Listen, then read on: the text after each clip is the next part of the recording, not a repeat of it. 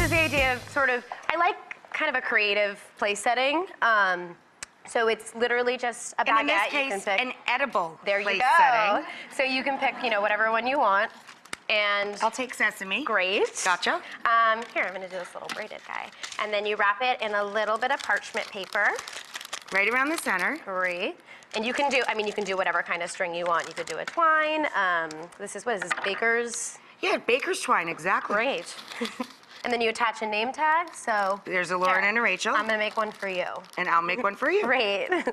um, and then do that with a little I bow. love DIY Super that I easy. can feel successful with Right. because I'm DIY challenged. Well- like I'm actually capable of doing this, so I'm feeling really good about this. Great.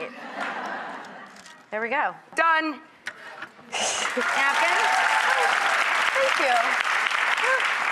All right. Yay. You just place it on your plate. So Ta-da! Wow.